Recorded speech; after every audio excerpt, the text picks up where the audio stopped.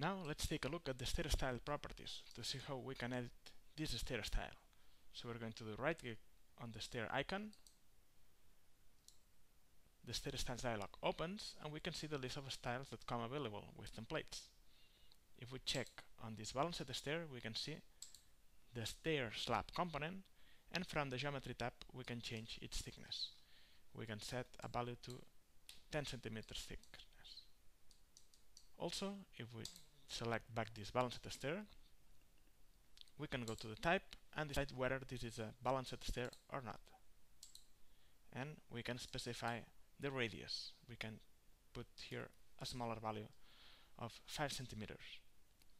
Now, if we select the steps, we can decide whether to draw the tread slab and same for the riser slab. Actually, we can set a zero value for the nosing.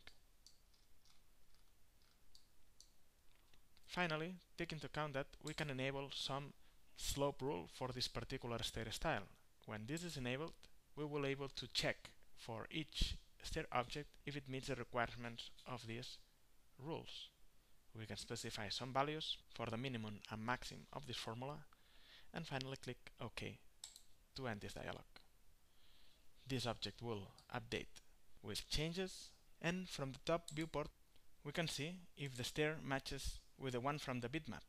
So we can try to change the tread dimension to 29 for example and now we can see that the, these two flights more or less match but in this case it doesn't and also the stair goes longer than it should be.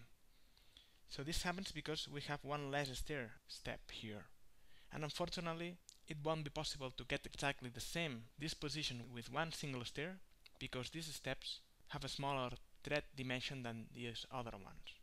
So we'll try to find another value, let's say 27, and now at least we have the ending step finishing in a similar position as the original stair. We can also see that this step disposition meets the path slope rule defined by the style.